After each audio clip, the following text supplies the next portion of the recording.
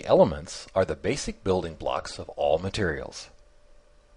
This box contains a sample of each element in a small bottle. Theoretically, you could take the elements in these bottles to make any known substance by assembling them into molecules and crystals.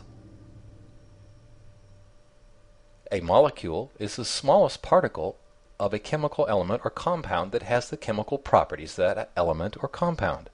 Molecules are made up of atoms that are held together by chemical bonds. These bonds form as a result of the sharing or exchange of electrons among atoms. Atoms of certain elements bond readily with each other. For example, such elements as oxygen and chlorine readily form bonds with other atoms. The atoms of some elements do not easily bond with other atoms. For example, helium, neon, and argon do not bond with other atoms. Molecules can vary greatly in size and complexity. The element helium is a one atom molecule. Some molecules consist of two atoms of the same element. For example, O2 is the oxygen molecule most commonly found in the Earth's atmosphere. It has two atoms of oxygen. However, under certain circumstances, oxygen atoms bond into triplets, O3, forming a molecule known as ozone. Other familiar molecules include water, consisting of two hydrogen atoms and one oxygen atom, H2O, sometimes called dihydrogen monoxide, or carbon dioxide, consisting of one carbon atom bonded to two oxygen atoms, CO2, or sulfuric acid, consisting of two hydrogen atoms, one sulfur atom, and four oxygen atoms, H2SO4. Some molecules, notably certain proteins, contain hundreds or even thousands of atoms that join together in chains that can attain considerable lengths.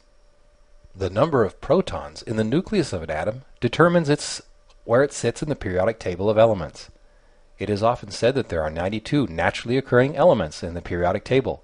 Really, there are only 88 naturally occurring chemical elements. The elements 43, 61, 85, and 87 are not stable and very short lived so they are not naturally present. But in any case, the important thing for atoms is the number of protons, which determines which element it is. The number of protons in an atom is called its atomic number. For instance, carbon has an atomic number of 6 and therefore has 6 protons and normally has 6 electrons. In addition to the atomic number, there is also the atomic mass, or sometimes called the atomic weight. The mass of an atom is determined by the number of neutrons and protons that are present in the nucleus. The neutron is only slightly more massive than the proton. The atomic mass of this deuterium atom is about 2. The mass of the proton is about 1,836 times greater than a single electron. Thus, the mass contributed by electrons is insignificant when determining atomic mass. The atomic mass is the sum of the protons and neutrons in the nucleus. Most carbon atoms have an atomic mass of 12, which means they have 6 protons and 6 neutrons. Remember, the atomic mass is the number of protons plus the number of neutrons. The atomic mass of most carbon atoms is 12. While that is true of most carbon atoms, the number of protons and electrons remain constant in a neutral atom. The number of neutrons may vary from one atom to another. As a result, the atomic mass for one atom may be different from another of the same element if the number of neutrons varies. Hydrogen is the first element in the periodic table with one proton. Although all hydrogen atoms have one proton in the nucleus, there are some that have one or two neutrons in the nucleus as well. Hydrogen with just one proton and no neutron is by far the most common isotope of hydrogen. Hydrogen with one neutron in the nucleus is called deuterium Hydrogen with two neutrons in the nucleus is called tritium. Tritium is an unstable isotope of hydrogen. It is radioactive. Water, H2O, contains two hydrogen atoms in every molecule water. A small percentage of hydrogen atoms in water have a neutron, or maybe even more rarely two neutrons. Molecules of water with extra neutrons is called heavy water. This nitrogen atom has seven protons, so it would also prefer to have seven electrons. An atom that has the same number of protons as electrons is said to be a neutral atom. The positive charged protons are equal in number to the negatively charged electrons. Since protons and electrons have equal but opposite charges, the atom is balanced and has no net charge. Unlike protons and neutrons, which are very hard to remove from the atom, electrons can be removed or added to an atom with relatively small amount of energy.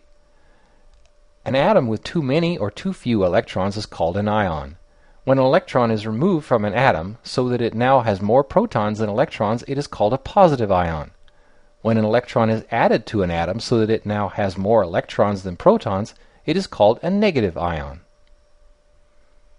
The two most common ways that atoms become ionized is from light striking the atoms or from electrons striking the atoms, such as from an electric current. The gas in this globe is ionized by the electricity flowing through the gas inside. This fluorescent light also uses ionization to energize the gas.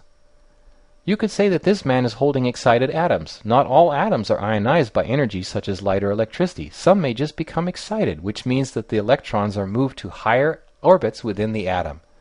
When they fall back to a lower orbit, they will emit energy in the form of light.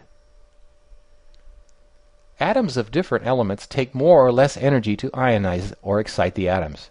Generally, as you move to the right or upwards in the periodic table, the energy required to ionize an atom increases.